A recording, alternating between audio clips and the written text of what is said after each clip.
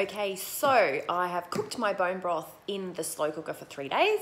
I have strained it through a sieve and then put it through a uh, wire strainer to get all the um, all the solid bits out of it. And now I've got it in um, a bowl that it's been in the fridge uh, for, oh, I think it's been there since yesterday, if I can just sit that on there. So what you can see here, back a little bit, is um, a whole lot of fat that's congealed on the top of the bowl. So I'm just going to grab a plate. Now, if you use good quality bones, which should, um, this you can put in a jar and you can you can actually cook with it.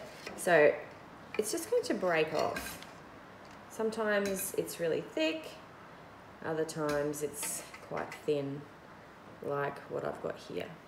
So just taking the fat off the top. I actually pay a lot of money for this in um, in the shops, this fat and the bone broth as well.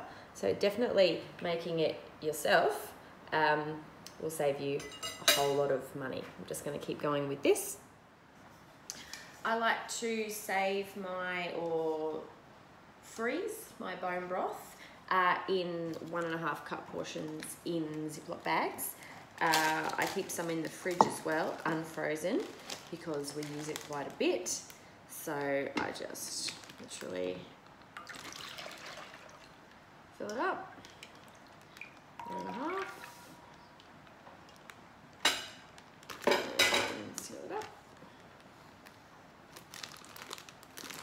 And easy. Always right if it's beef or chicken.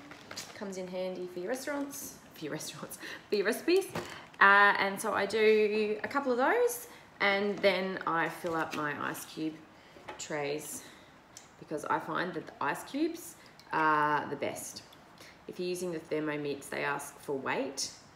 Um, so the recipes ask for weight or call for weight because you can measure. So I find that just dropping cubes in until you get to the right weight is simple and easy. I'm just going to pop them in the freezer and they will stay in until frozen, obviously. Then I'll pop them out, put them in a big Ziploc bag and use them in my recipes and drop them into smoothies and those sorts of things. So I freeze some in bags.